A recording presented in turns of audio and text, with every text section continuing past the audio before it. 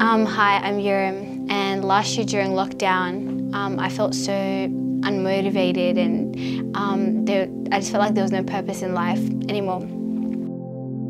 During lockdown, we did this family devotions and um, I didn't feel like they really meant anything to me, even though I was meant to get like something out of them, I really didn't. One day I was sitting down, I was watching a sermon, and I remember, I don't remember which sermon, but I remember him saying, God loves you and He loves you so much. That's why He's done so many things for you. And something hit me, and I was thinking, like, oh, that's actually true because so many events has happened in my life that um, God's love has been shown not only to me but to the people that I actually cared about, like my family and friends. Called Alex and I asked her for a Bible, and um, I got the Bible, I started my relationship with God all over again.